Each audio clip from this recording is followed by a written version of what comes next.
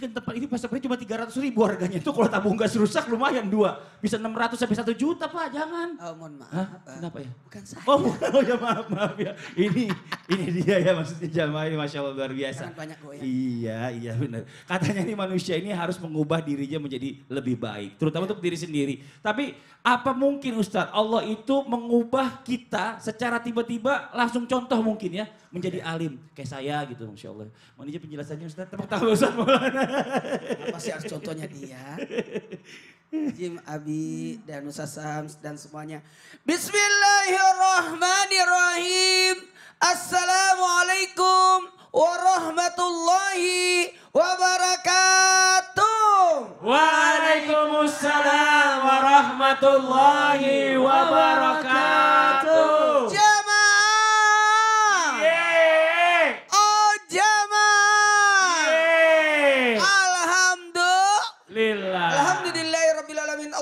Salli ala Sayyidina Muhammad wa ala Sayyidina Muhammad. Satu bentuk pujian dan rasa syukur kita Masya Allah Tabarakallah. Di 10 akhir di bulan Rajab. Semoga kita mendapatkan keberkahan di bulan Rajab.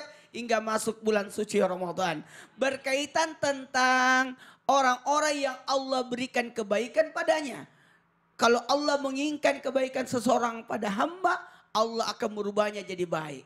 Nah ternyata ilham, taufik, hidayah. Tuh dua tiga. Ilham, Taufik, Hidayah. Kita tidak tahu siapa yang diberikan petunjuk.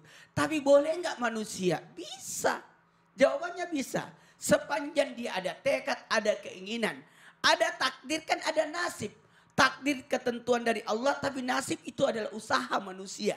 Bagaimana bisa jadi lebih baik. Bagaimana dia bisa lebih mohon maaf berhasil dan sebagainya. Maka keimanan itulah yang membuat orang bisa jadi baik dan ilmu. Banyak belajar. Datang dengarkan tausiah. Bisa jadi naik turun. Ingat ya naiknya iman itu karena kebaikan dan baiknya seseorang karena adanya ilmu pengetahuan.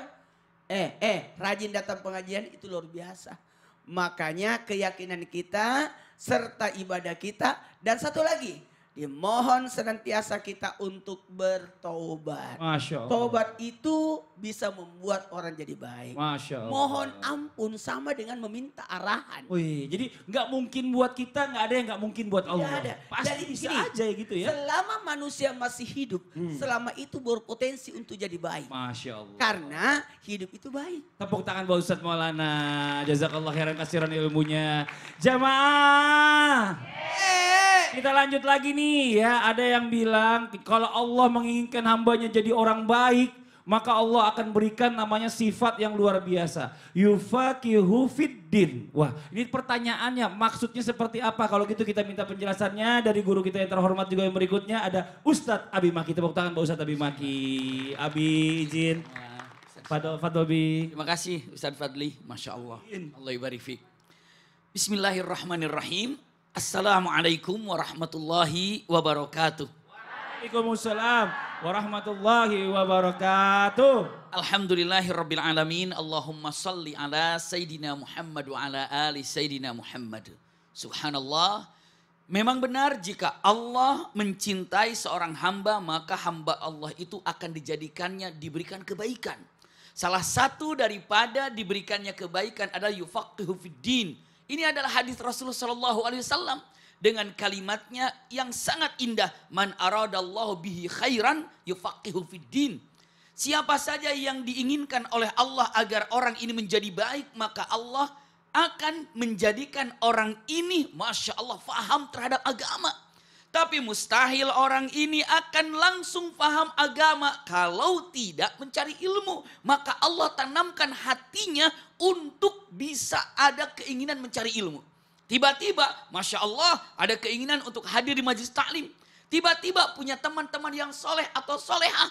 Bahkan tiba-tiba pagi-pagi seperti ini ingin melihat Trans TV. Ternyata di dalamnya, Masya Allah ada Ustadz Maulana, ada Ustadz Syam, ada Ustadz Fadli. Saya sampaikan di Ustadz Fadli karena tiap hari Amin, belajar, ya belajar, belajar. Santri mana yang setiap sebelum subuh udah bangun, udah belajar. Masya Allah ini keindahan yang luar biasa. Bahkan yang terindah adalah mendapatkan ilmu banyak, ilmu banyak siapa yang telah menanamkan keinginan untuk mencari ilmu? Jawabannya adalah Allah. Kenapa? Karena Allah menginginkan agar orang itu mendapatkan kebaikan. Tidak ada di dunia ini akan mendapatkan kebaikan kecuali dengan ilmunya. Ya, coba ada satu doa Rasulullah sampaikan untuk Ibnu Abbas dengan kata-katanya Allahumma faqihu fid din wa 'allimhu bitawil. Ya Allah berikanlah kepada Ibnu Abbas ini pemahaman ilmu yang sangat luar biasa, faham terhadap agama dan faham terhadap ilmu Quran. Apa kata para ulama? Andai kata ada doa yang terbaik untuk Ibnu Abbas, pastikan Rasulullah akan mendoakan yang terbaik lebih dari itu. Tapi tidak ada doa yang terbaik kecuali untuk dipahamkan terhadap agama. Maka apa yang dilakukannya? Ya Allah berikan kepada Ibnu Abbas ini pemahaman terhadap agama itu doa Rasulullah. Karena tidak ada doa yang terbaik kecuali pemahaman dalam agama. Masya Allah tabarakallah. Jadi kalimatnya yufaqihu fiddin, faqih, fiqh. Artinya adalah faham, pemahaman. Dan ingat, bukan saja Allah memberikan pemahaman terhadap agama, tapi Allah pun memberikan kemampuan untuk menjalankan pemahaman itu. Itu yang paling indah. Masya Allah sudah paham agama, lalu nikmat untuk mengerjakannya, kedua-duanya ini bukan datang sendiri. Masya tapi apa? Allah berikan Bantu. keinginan tersebut Oh, dan bisa oh, menjalankannya. Nah, Jadi inilah. fiddin ini adalah Iya. orang yang mau belajar agama gitu ya. Betul, dan itu Allah yang menanamkan hal itu. Allah. Maka itu gambaran yang terindah ketika seseorang senang untuk duduk bersama orang soleh, duduk di majelis taklim. Amin. Ini bukti Allah ingin memberikan kebaikan kepadanya. Wah Allah amin. fiik. Masya Allah makasih banyak Abi. Jazakallah khairan kasiran. Masya Allah tepuk tangan dong. Jadi semua yang hadir di sini yang lagi nonton ini termasuk orang-orang yang juga pengen belajar pengen jadi lebih baik. Mudah-mudahan Allah juga kasih kemudahan buat kita supaya bisa belajar agama menjadi orang yang lebih baik lagi. Amin amin ya robbal alamin. Nah sekarang kan kita kembali lagi nih. Tadi dibilang sama Abi bahwa semua tergantung kita. Nah mungkin kita minta penjelasan seperti apa dari guru kita Ustadz Syam. Mohon izin waktunya tepuk tangan buat Ustadz Syam. Bu Abi Ustaz Maulana, Mas Fadli, jamaah di studio, jamaah di rumah. Al-Quran surah Ghafir ayat 39. أعوذ بالله من الشيطان الرجيم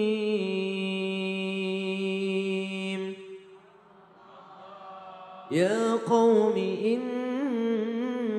إنما هذه الحياة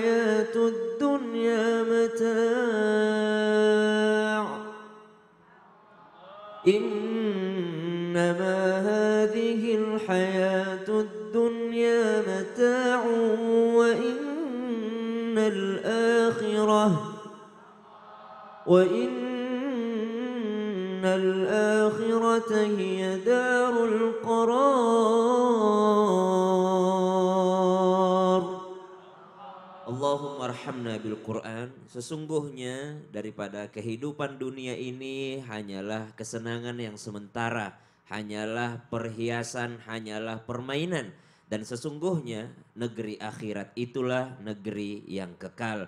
Dari ayat ini kita mengambil pelajaran bahwasanya ketika kita hidup di dunia jangan senantiasa meminta susah.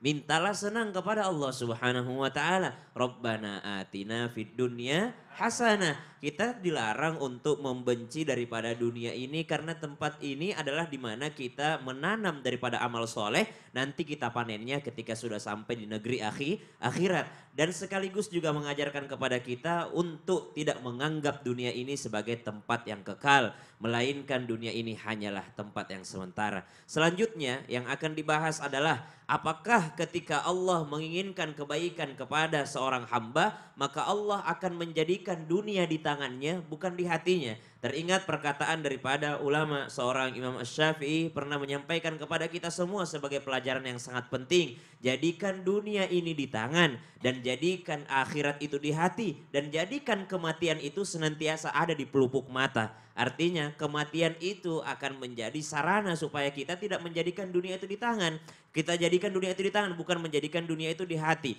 Maka para ulama kita seperti Imam Malik, kemudian para sahabat Nabi wasallam tadi diceritakan seorang Ibnu Abbas radhiyallahu anhu kemudian ada sahabat Anas bin Malik Sayyidina Anas bin Malik radhiyallahu anhu warda, beliau ini adalah seorang yang didoakan oleh Nabi sallallahu alaihi wasallam memiliki kekayaan. Allahumma akthir malahu, ya Allah banyakkan daripada hartanya. Akan tetapi harta tersebut tidak pernah masuk ke dalam hati seorang Sayyidina Anas bin Malik. Begitu pula dengan sahabat-sahabat yang lainnya. Jangan kita pikirkan sahabat Nabi hidupnya susah, tidak. Mereka semua adalah orang-orang yang diberikan oleh Allah Subhanahu wa taala dunia di tangannya, akan tetapi mereka yang tidak memasukkan ke dalam hatinya. Sebanyak-banyaknya harta kalau hanya di tangan tidak berbahaya. Benar. Tapi sesedikit-sedikitnya harta kalau sudah masuk hati langsung berbahaya. Wah, kalau udah masuk hati jadi koret, medit, semuanya itu segala macam jadi satu itu ya, Bu. Ini nauzubillah min zalik. Makasih banyak Ustaz Syam. Tepuk tangan buat Ustaz Syam. Ustaz Maulana saya mau ngajak main tebak-tebakan. Apa itu? Pasti Ustaz gak bisa jawab. Tahu nggak? Olahraga olahraga apa Olahraga apa? yang bisa membela diri kita? Ah, berenang. Salah. Supaya tidak tenggelam. Salah. Siapa yang bisa bilang? Lagi lagi yang lain. Ayo lain. Hmm, naik kuda. Salah, salah. Supaya kalau ada Salah. Lagi yang lain, yang lain. apa lagi ya? Salah. Eh, ya. Oh, Ya, apa? olahraga yang disunahkan kan? Salah. Apa Pokoknya tahu nggak olahraga yang bisa membuat membela diri kita? Sifat. Sifat. Eh salah, silat. Mulut-mulut siapa? Di situ. Iya udah ntar. Ya udah kita lanjut lagi. Yang di rumah jangan ke mana-mana dulu ya. Kita lanjutin setelah yang satu ini tetap di Islam itu indah. Jamaah. Oh jamaah. Alhamdulillah. Emang bapak doang yang boleh salah ngomong.